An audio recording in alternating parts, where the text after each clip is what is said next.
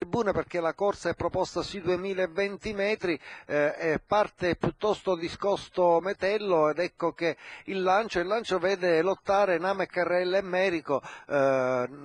viaggio probabilmente eh, alla fine molla, anche se magari c'è il rischio che poi Merico molli a sua volta no B, vediamo un po', eh, i due si sono parlati, dunque Merico al comando, Namek in seconda posizione, Pusley Treb in terza ed ecco profilarsi all'esterno la prevedibile avanzata di Noah B che punta decisamente al via, vediamo se ci sarà scambio fra i due di testa e se sarà Namek poi a reggere l'avanzata di Noah B,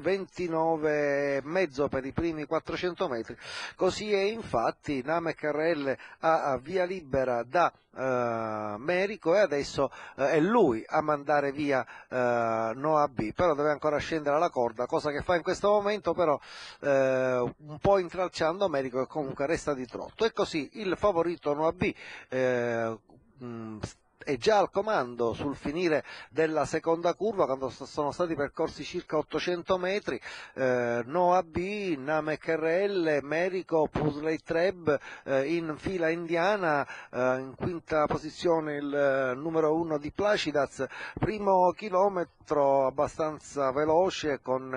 eh, Noah B dunque a dettare i tempi nei confronti di Namek RL poi Merico, Pusley Treb, Placidaz eh, in penultima posizione Orgogliosa P e poi eh, a chiudere il eh, drappello Orgogliosa OP insieme a Metello. Dunque continua a maramaldeggiare in avanti Noa B, sempre seguito da Merico e in terza posizione, Namek RL più a ridosso in seconda posizione, mentre adesso è Placida a smuovere un po' le acque e a venire all'esterno, viene eh, a trovarsi adesso vicino a Merico, sposta questa nave KRL che per la verità sta dando qualche problema di assetto a Biagiolo Verde, eh, infatti eh, trova il posto interno Merico e lo infila, eh, Placidas adesso è costretta ad andare in terza ruota sul compagno di allenamento, Pusley Treb serra lungo lo steccato ma scende in corda,